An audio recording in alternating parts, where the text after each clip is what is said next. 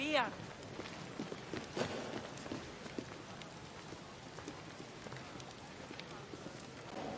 Greetings, Wanderer, and welcome to the Acropolis, the shining jewel of Athens.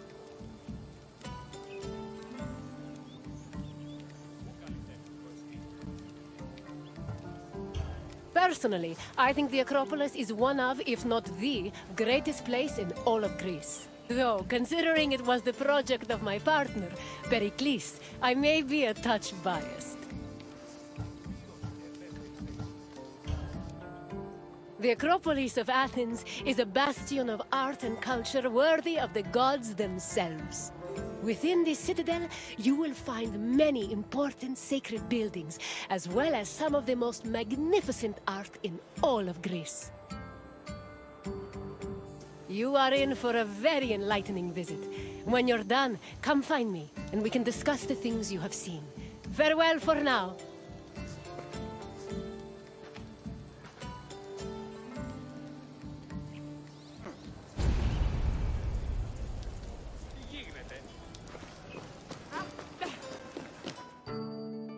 The Acropolis has gone through many changes in its long history. It began as a simple rock, was settled as early as the Neolithic period, and then became a fortress in the Mycenaean period. Stone buildings started appearing in the 7th century BCE.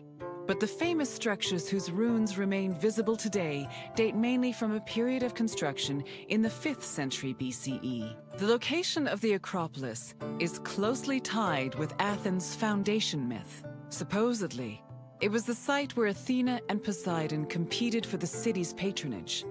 This connection gave the Acropolis a sacred aura, and it was considered the religious heart of the city.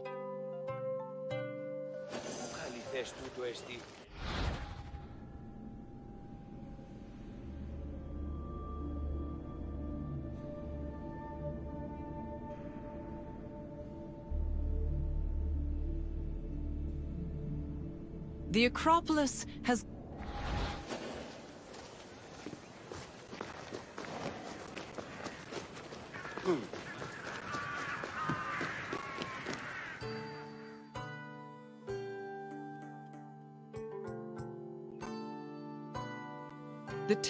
of Athena Nike was built on the remains of old fortifications from the Mycenaean era.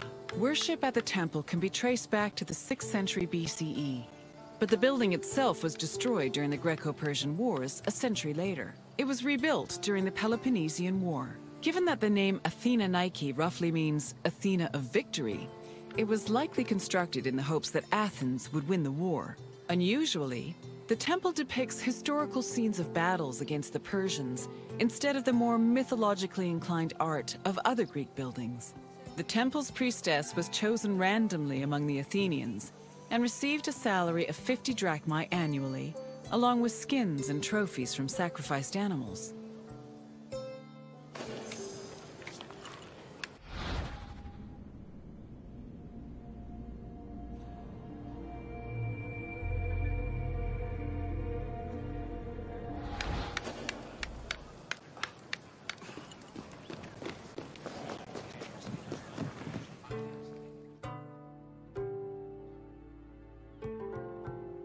The Acropolis was built up over a long period, due in no small part to its partial destruction during the Greco-Persian Wars. It was in the 5th century BCE, though, that the Acropolis received its most significant improvements. This period was an extremely prosperous time for Athens, both financially and culturally. With a booming economy bolstered by trade and the Lavrion silver mines, Pericles, the leader of Athens, financed a huge project to rebuild the citadel. He enlisted the help of renowned artists, like the sculptor Phidias, as well as the architects Iktinos and Callicrates. Together, they erected buildings like the Parthenon and the Propylaea Gateway, Pericles' goal was to make the Acropolis into a glorious monument to the gods and to mortal Athenians.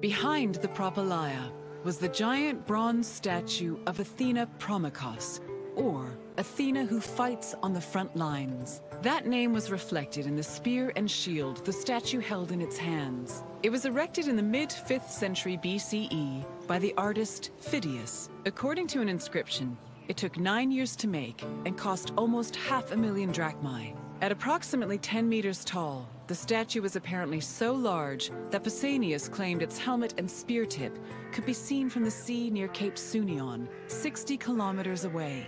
The ornamentation on the statue's shield was engraved by the metalsmith Mys.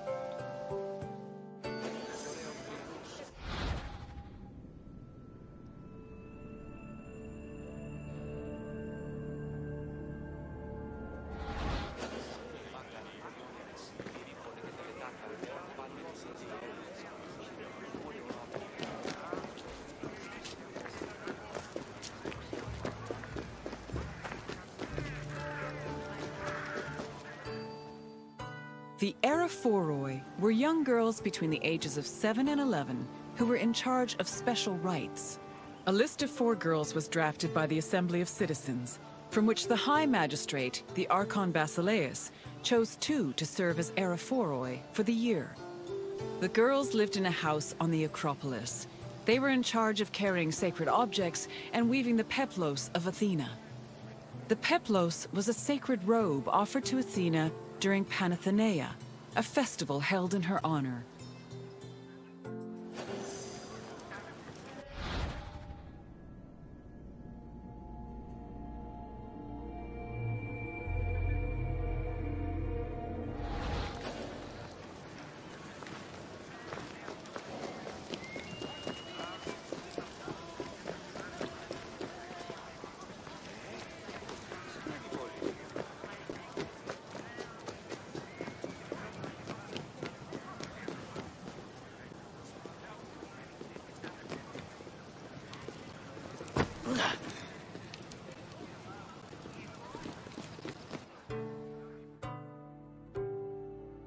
The Erechtheion was an atypical temple.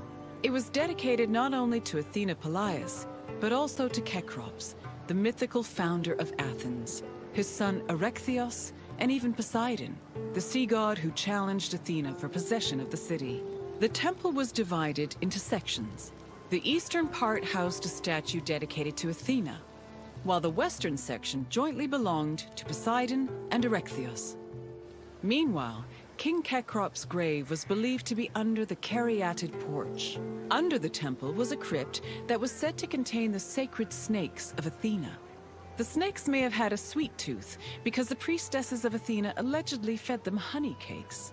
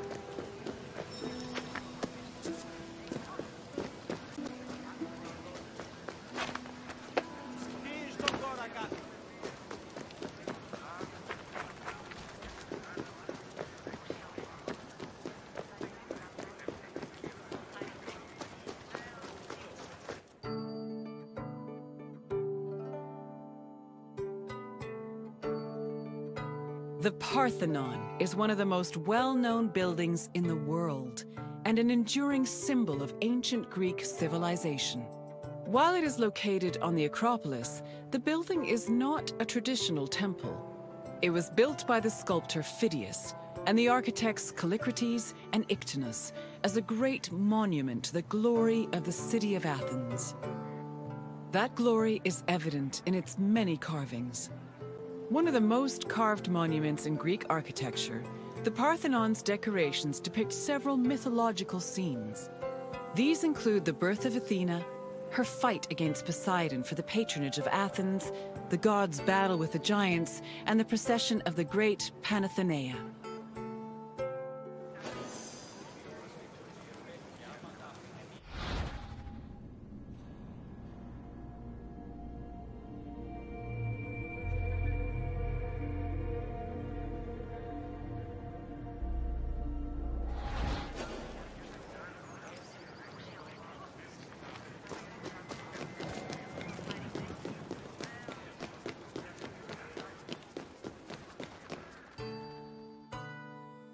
Parthenon's inner chamber, or cella, contained a massive statue of Athena that was considered to be one of the sculptor Phidias's greatest masterpieces. The statue was chryselephantine, a combination of gold and ivory. To justify the steep cost of its construction, Pericles told Athenians that the statue was a gold reserve, which could be disassembled in times of economic distress. The cella also allegedly contained a pool whose main purpose was to control the room's humidity, which helped preserve the statue's ivory.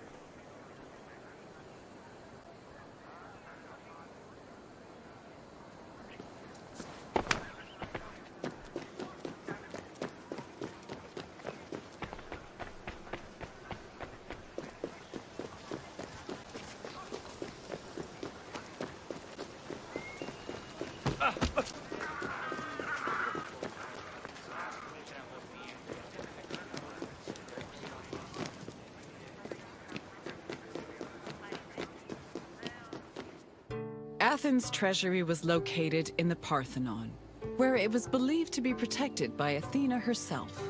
The treasury contained objects of great value, acquired from different conquests, as well as a mass of minted silver coins and various offerings to Athena.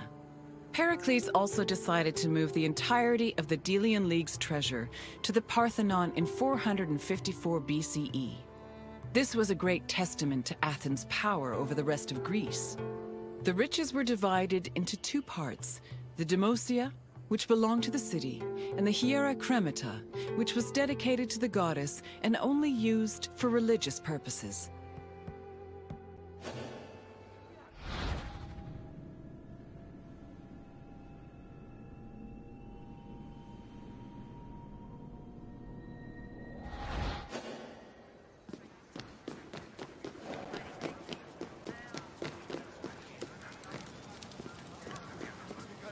And what did you think of the Acropolis? It truly is quite something, isn't it? A sacred sanctuary and an architectural marvel, all in one.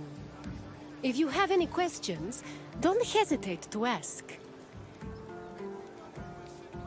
You're confident enough for a test? Very well. Let us see how much you know. Which two gods competed for Athens' patronage?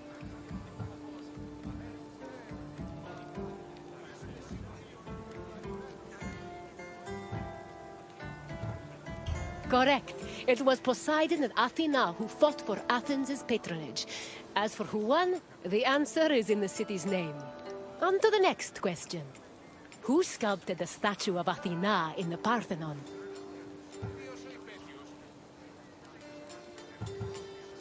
Correct. The renowned sculptor Phidias made the statue, which was considered one of his masterpieces.